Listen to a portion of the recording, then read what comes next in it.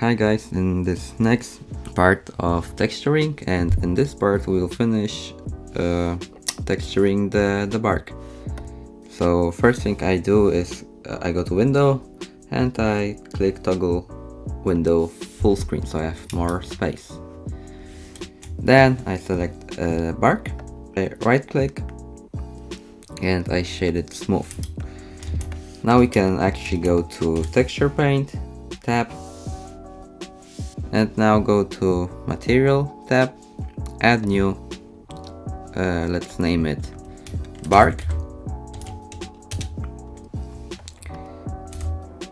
And uh, let's see we can make a new texture for the bark. Let's call it bark underscore color we can change the color to some brownish dark brown. And let's click OK. Uh, as you can see there's no color because we have to go to shading. And here click shift A to add the image texture. And let's connect the output to base color and change the texture to base color. And now we have the texture. I think there's a way to to skip the shading part but I forgot how to do it. Okay never mind. So yeah let's start drawing. We can hide uh, the lips so we can draw e easier so let's go to object mode and click shift H. And now you have the bark only. Go back to texture paint mode. And now okay we have the base color. And first thing is to adding some variants. So let's change to darken. So let's change to darken brush that we created in the previous part. Let's change the color to something like brown so we can pick the color from the mesh. And now let's start painting the bark but as you can see there's some problem because uh, the color doesn't show up. Yeah only sometimes it show up but you can see that the color is on the texture so uh, to solve this problem. I think there's a, the the normals are inverted so we have to invert the vertex. So if you go to edit mode you select everything and you click ctrl shift n. It should make your normals consistent. So now if you go back to texture paint mode you can see that yeah it works now okay so now we can start painting. So add some lines. Don't don't worry how they look now because they are only for the color color variants so we want to add so, as much colors variants as we can. So now we will draw dark lines and then we will draw bright lines and then we'll blur them together. If if the specular is uh, making your model hard to see you can just go to solid view mode and here you can see better the the mesh. And you can go also to shading and turn off specular lighting so you'll have no lighting on your bark and this will be the easiest I think to draw on. So draw dark, dark lines. Uh, you can draw on all your bark but uh, I draw only to, to this part.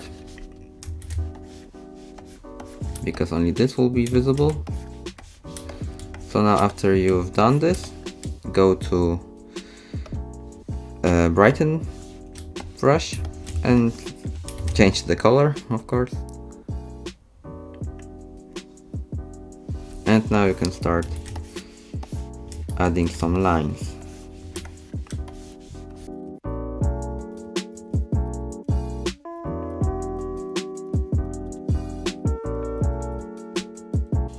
Okay, so after you've done this part, let's go to smear brush and we can start smearing those lines downwards or upwards.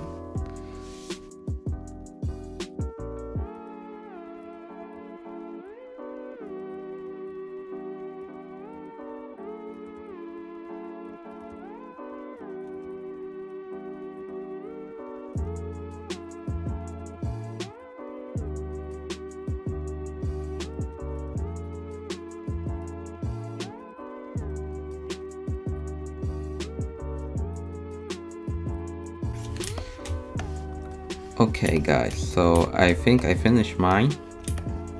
And as you can see it already looks good on your model. And you you can leave it uh, like as it is now because it, I think it looks like a wood already. But uh, I want to add more details. But I think this this looks very nice. And and you just can leave it like this if, if you like this style but I will add some more details so let's move to the second part. Before that remember to save the image of the texture because yeah bark that color because we will lose everything that we, we drew before so remember to do that. Uh, let's change to darken brush and uh, not here here. Change to darken brush and now we want to draw lines that will show where the gaps will be. So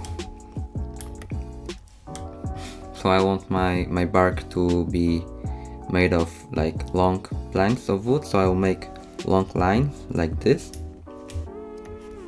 And you can make them stronger. So let's change the strength. And as you can see this will be the gap between the planks. So just draw them. And you can mix mix them like this.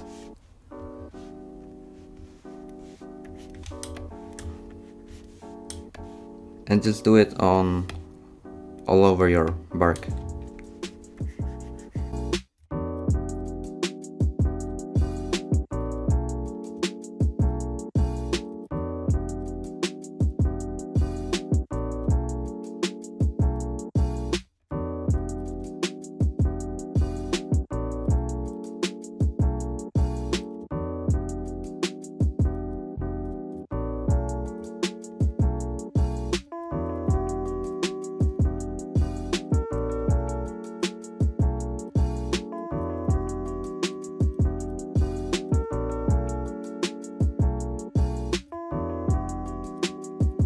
Okay guys, so after you've done painting your cracks, we can add some light information now. So let's add some highlights. So go to brighten brush and we can draw all over the edges of the cracks that we drew before the, the, the highlights so this will look more like it it is popped out so we can make it stronger even. And just draw the same shapes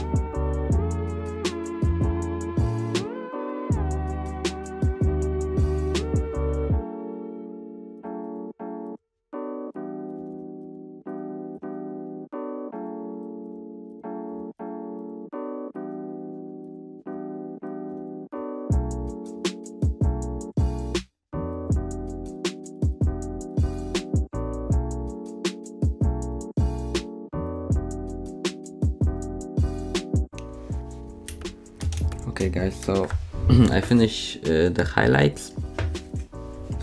Uh, they are not perfect, they're very very very rough, as you can see. But you can blur everything with blur pencil. Let's change the strength to very high. And you can blur the edges, the high, uh, hard edges if you want. But uh, I think I will not do it. I will just leave it like this. Because this is stylized so yeah it's on, on style. So uh, after you've done highlights you can add additional layer of uh, so you can make your brush even brighter. And only in few places add some uh, highlights like this. So as you can see this is very uh, prominent. I don't know how to say it. I think it's it's called prominent and it, it stands out very well. And you can add, it to only few places don't add it everywhere because nothing will be uh, prominent.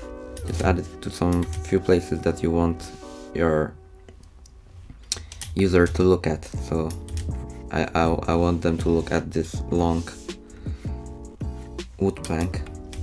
So I highlight it here and you can also do the same with darken. So if you want very deep uh, cracks you can add additional layer of darkness between the planks. So as you can see yeah it's very dark in here. So it adds more depth.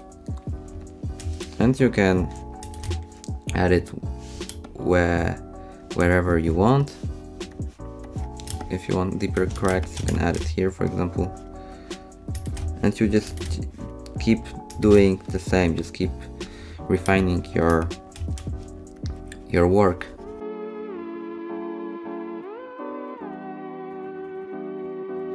So after after you've done this we can add some more cracks on on the wood planks so again go to dark brush and now you can add some I don't know uh, cracks on your wood.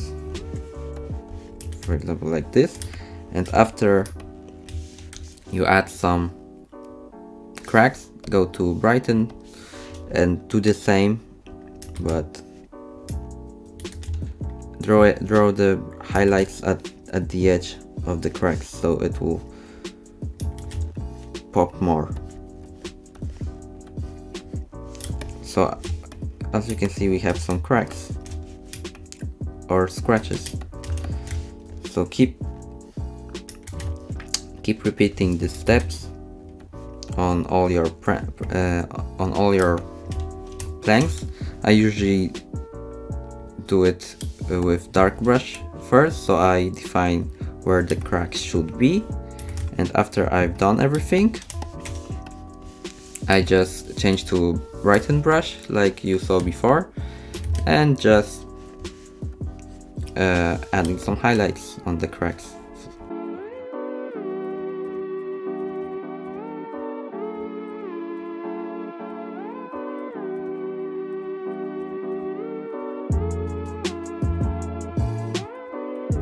Okay, so I think I, I added cracks and now change to brighten and add some highlights.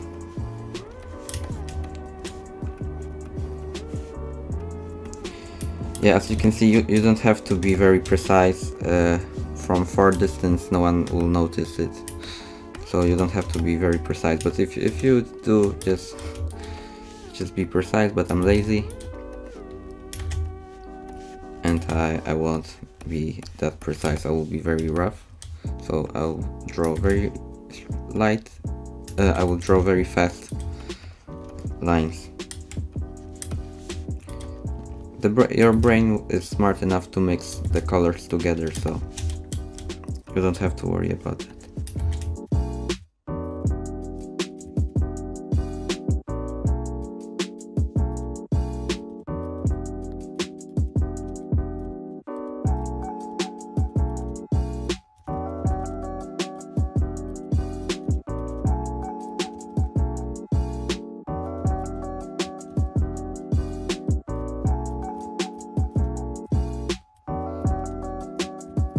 Okay, so uh, I think yeah, it looks a better, uh, a bit better with cracks, but they are not so that visible. You can make them bigger, longer, and uh, more visible if you like, but uh, I don't have time for it.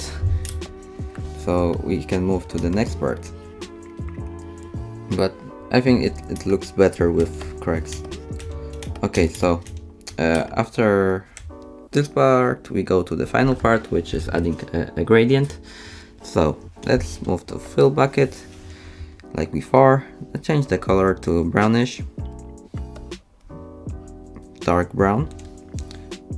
On the left side handle too. So we have this gradient. Let's change to front view and drag from bottom to top. Oh it's too much. Drag you can drag it halfway. Okay so the bottom is more dark now. Remember to change the blend mode to multiply so it will be darker darker. And if you want it to be brighter just change to screen and you can drag from top to bottom. And you can see that we have the top is bright and the bottom is uh, dark and the middle is yeah the middle so I think this looks interesting and I think we finished. So let's go to object mode. Let's re-enable leaves. Okay. And let's go to LookDev mode. Okay, I think it looks nice. As you can see, there's a specular that is hitting our bark but we will get rid of it in, in the rendering section. But as you can see it it looks nice for now. I think the bark is okay. So remember to save the image. So uh, wow. Click alt s to save it. So I think that it is guys. And in the next part we will start render rendering this tree. And maybe I will put it in the game engine too. So goodbye guys and uh, let me know in the comments uh, what would you what would you what you would like to see in the future tutorials because yeah I, I think that I will do one series but uh, it will be more related to actually making games. So yeah I, think it will be fun. And also I, I want to show you my my game that I'm working on right now. So yeah. Goodbye guys